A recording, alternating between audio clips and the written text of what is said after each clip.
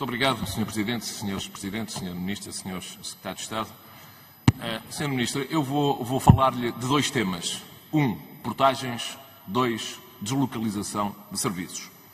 Quanto às portagens, eu não queria ser excessivo, uh, mas penso que o plano que, uh, que apresentam para entrar em vigor em janeiro de 2021 é pobre em ambição e rico em migalhas. E eu quase que me apetece dizer-lhe isto, Sra. Ministra. Para fazerem isto, eh, era quase melhor estarem quietos. Por uma razão.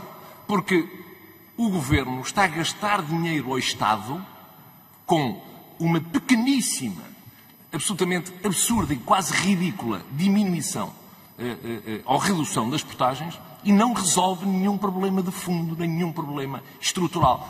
Os senhores continuam a tratar de uma doença aguda, quase uma septicémia, com um Benuron 500. Oh, Sr. Ministro, assim não vamos lá. Não vamos lá. Não saímos disto. E, portanto, isto é um círculo vicioso. E depois fazemos um bom discurso a dizer que reduzimos as portagens.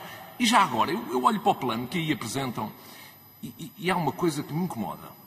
É, o Sr. Primeiro-Ministro, e, e, aliás, todo o Governo tem o discurso de que em fase de pandemia nós devemos ter políticas de contraciclo expansionistas e que não é, a, não é a pandemia que nos vai travar essas políticas. Pois aqui, a explicação que os seus aqui dão é que não fazem uma redução maior por causa da pandemia. Aqui já fazem ao contrário. Ou seja, o interior é sempre o parente pobre do país.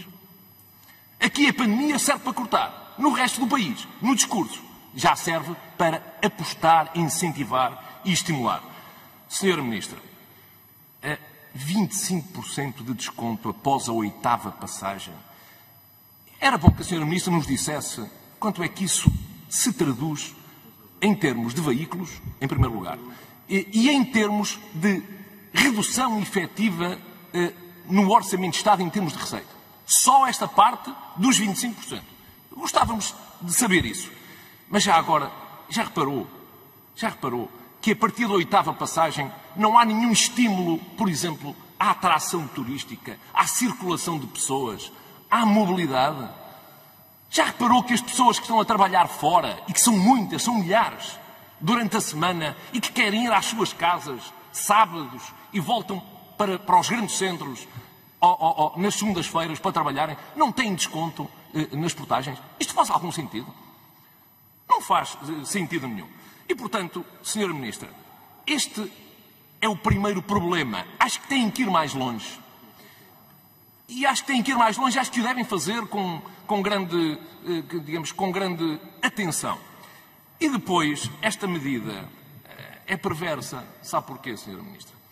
Porque o que o Governo está é, é, a convidar as pessoas a andar nas autoestradas para terem descontos. Ou seja, para terem um desconto na portagem, gastam em combustível. Como se diz lá na minha terra, é poupar na farinha e gastar no farelo.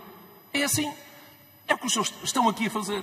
E, portanto, têm que olhar para isto de outra forma e apenas dar aqui descontos a transportes de mercadorias.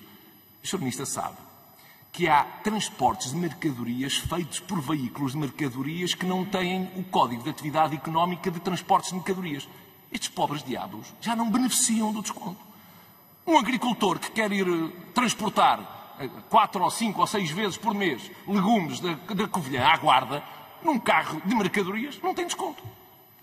Isto não faz sentido. Há aqui disrupções, entropias que o Governo vai ter que resolver. Segunda questão tem a ver com a localização de serviços. A Sra. Ministra na, já disse aqui, e também na entrevista ao Jornal de Negócios, disse que era difícil deslocalizar serviços que já existem.